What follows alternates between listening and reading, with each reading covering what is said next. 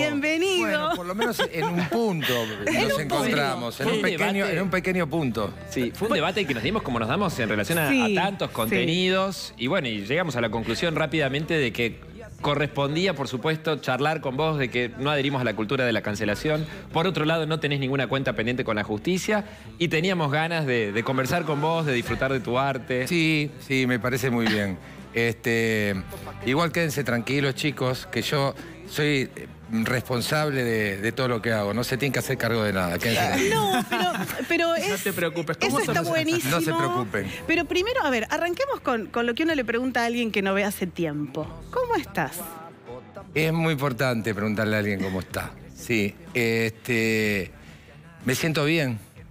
Eh, me siento vivo. Mirá, ahí lo estás viendo. Sí. Este, encontrándome con la gente en la calle, cantando, eh, haciendo lo que, por lo que estoy en este plano, ¿no? Este, regalar alegría, alumbrar, recordar, que es el anagrama de la palabra cordera, este, recordar y, y me parece que es muy importante en este momento recordarnos como, como seres humanos, porque este, en todo este tiempo que nos estamos experimentando, este, creo que hemos perdido muchísimo de, de conexión con nosotros mismos, ¿no? Con- fundamentalmente con lo que sentimos, no con lo que pensamos, porque la cabeza está muy agitada Sí. y el sentir está este, olvidado. ¿no? Y este, estoy en un momento donde me estoy sintiendo. Por- te diría que por primera vez en mi vida. Siempre fui muy emotivo, muy intenso. Este, entonces esa, esa energía no me dejaba este, sentir. Mm, sentir cómo respiro. Sentir este, cuando estoy tomado por un pensamiento que no me pertenece. Cuando algo sale de mi creatividad este, sentir al otro, sen- sentir al ser humano que hay detrás de las diferencias que hay tan radicales en- en cómo nos planteamos las cosas, ¿no? Este, este, este infinito Boca River, este, Clarín Página 12, Hombre Mujer, este, Macri Cristina, este, Biden Trump, este, etcétera, etcétera, etcétera, donde cada persona se mete en cada, toma una bandera, toma una posición, necesita convencer al otro, defenderla, este, entras en un estado bélico de supervivencia, donde consideras que el otro te está ofendiendo, porque de repente no piensa como vos. Y entonces, este, en vez de celebrar las diferencias, eh, instalamos una dictadura de pensamiento, este, que es la dictadura de la igua- igualdad obligatoria, la llamo yo, pensamiento único, políticamente correcto, que se baja desde las. desde los medios de comunicación, los actores políticos, este, desde todos los ministerios, desde toda la propaganda en el mundo, donde hay un solo pensamiento vigente.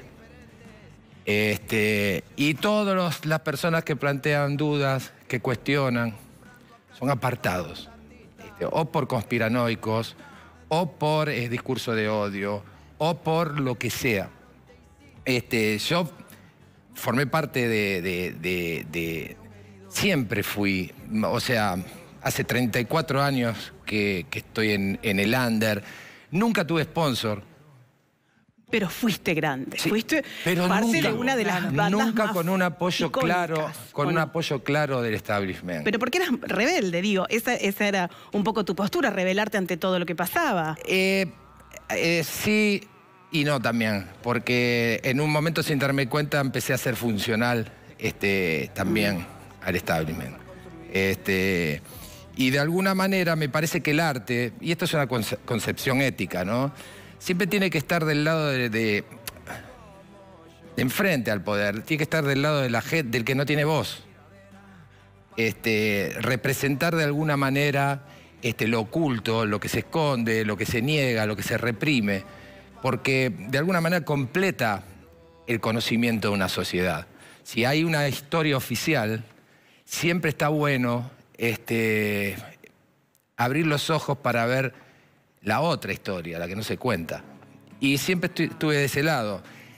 Es inconveniente, es irritante, este, no lo queremos escuchar, vamos a cancelarlo, eh, vamos a, separarlo de la sociedad, a apedrearlo me parece que forma parte también de la historia del arte, ¿no? Bueno, claramente creo que eso tiene que ver con, tener esta charla y, es muy difícil no estar de acuerdo con eso, pero a mí me gustaría separar esa frase que nos hizo enojar tanto cuando vos le dijiste, porque no sé si entra dentro de esto. Uno puede pensar distinto y creo que es lo más interesante, si no, no evolucionaríamos nunca. De ahí a una frase desafortunada hay un paso en, donde no hiciste que nos corriéramos, que no pudiéramos seguirte o, apoyarte, o que mucha gente se haya sentido dolida. Digo, y acaba la pregunta, después de todo esto que pasó, ¿qué aprendiste? ¿Cómo te volvés a parar frente a eso? Este, lo que aprendí, primero y antes que nada, es que este, no voy a hablar más en lugares donde se me puedan este, editar, sin que la gente pueda ver de qué está hablando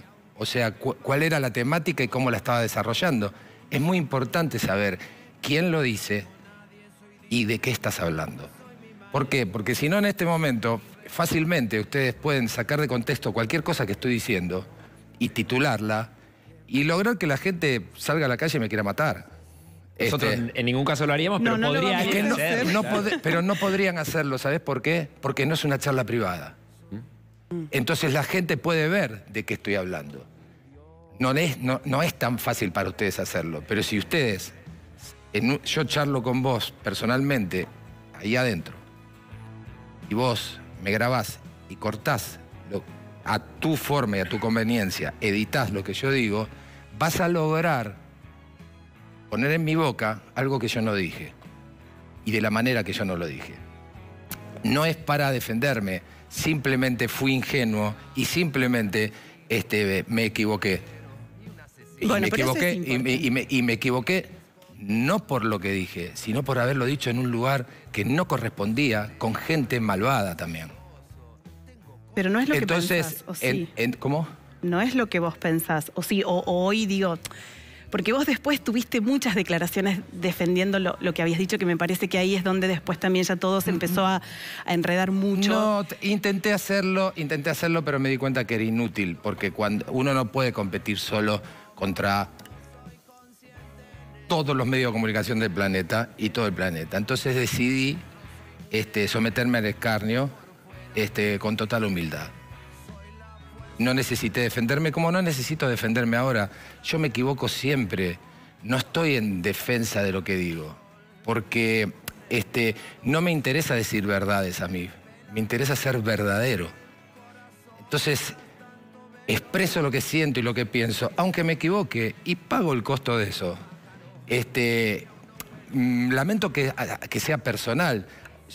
Cuando yo iba a la facultad y había lugares para, exponer las ideas y había debates, lo que sucedía y era muy copado eso, era que cuando uno se equivocaba en, la forma de argumentar algo o de defender algo, alguien pedía la palabra y te lo hacía saber. Entonces toda la gente que estaba ahí se enriquecía con esa conversación porque este, había un intercambio. el intercambio y los fundamentos y los debates hacen que las personas puedan este, este, eh, sacar luz de las equivocaciones.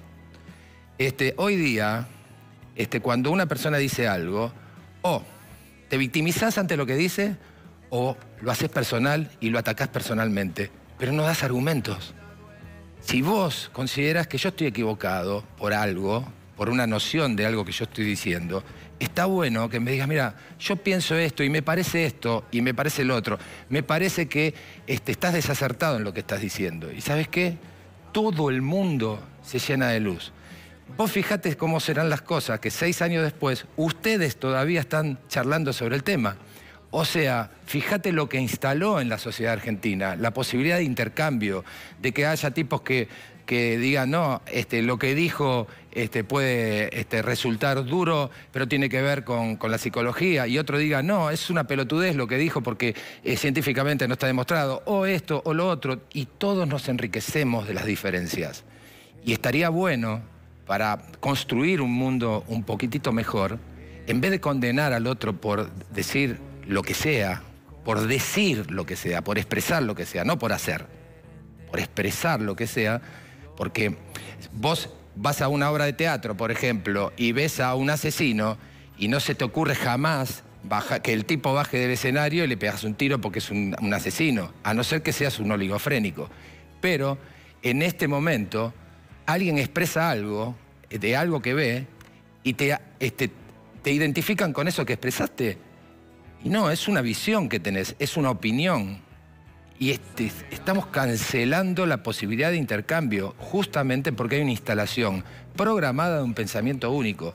Cuidado con eso. Bueno, eh, sí hay algo que pensamos, perdón Fede, es que como artista sos increíble, que has hecho quizás alguna de las canciones que más nos representan como argentinos, que se han transformado incluso en himnos. ¿Qué estás haciendo en Córdoba? Hablemos de tu arte. Bueno, el, este, es, muy importante eso porque yo me dedico a eso hace treinta y pico de años, a hacer canciones. A alegrar, eh, a cantar, este, a congregar a la gente a que venga a expresarse también libremente. Este, mm, estamos presentando un disco este, que se llama Libres y que este, de alguna manera tiene que ver un poco con este, revitalizar y recordarnos a los seres humanos el libre albedrío, que es donde nos experimentamos y donde nos expresamos como especie, ¿no? como seres humanos singulares y únicos que somos en libertad como fue de alguna manera restringida la libertad, como fue de alguna manera este, este, bastardeada y, quitada para los seres humanos en el mundo durante dos años, este, salí a, desarrollar el concepto de libertad que, yo tengo, de libertad de, expresión y de libertad de pensamiento, ¿no? y fundamentalmente de sentir lo que cada uno siente. Y hicimos un disco que se llama Libres, que tiene tres, cuerpos. Una parte que se llama cuerpo, otra parte que se llama mente, que ya salió. Y, ahora estamos haciendo, terminando la parte que se llama espíritu. Y este, bueno, si quieren les puedo cantar alguna cosa. Queremos escuchar, pela, dale. ¿Están seguros? ¿Querés más agua? ¿Querés más agua? Está bien así. No, estoy bien. Esta canción se llama Tiradera para vos. Y les puedo contar que la hice este, porque vi que se gastó mucha energía este, en un tipo tirarle a otro, otro tirarle a uno, este, estas disputas este, bien funcionales de odio. Y me parece que, que, bueno, yo hago esta tiradera justamente para, para que los artistas podamos abrir los ojos. Y dice así. desafío a ver lo que te pasa si te atreves a escribir sin complacer a la masa, sin palabras cocidas, sin palabras diseñadas a la medida de todos los oídos de la manada. Te desafío a que seas valiente y un duelo frente a frente hasta que te cagues en lo políticamente correcto, la palmada en la espalda el beso en el recto. Te desafío andar por el desierto hasta dejar morir lo que diste por cierto. Si no te animas a verte, te voy a perder de vista. Si no conoces el fracaso, nunca vas a ser artista. Para entretener, se ve que sos un monstruo pero que hay de tu corazón y de tus pedazos rotos y así sin darte cuenta ya sos parte de la cima. Los malos te premiaron para tenerte en sus vitrinas. Desde el sur te canto, te canto pa' que te rompas y vuelvas a construirte como el pampero. Cuando el sol está tapado, cantando se abre de nuevo.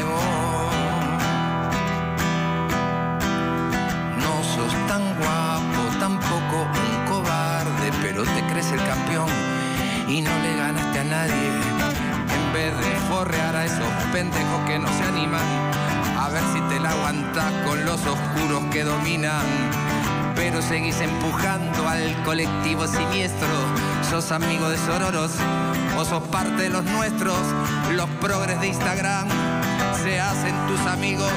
Primero te van a alzar, después te pegan un tiro en el nombre del pueblo, en el nombre de la gente.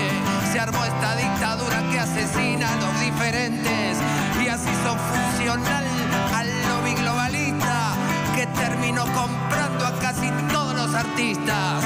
Querés la libertad de tu América Latina y cuando nos encerraron te hiciste pis encima. Voy a hacerte sangrar como un león herido. Quiero sentir tu dolor, quiero escuchar tu rugido. Te hackearon la cabeza, te apagaron el sonido. Pongo mi oído en tu pecho y no escucho los latidos. A mí ya me mataron y desde el más allá te tiro para que tu pluma un día encuentre libertad. Desde el sur te canto, te canto pa' que te rompas y vuelvas a construirte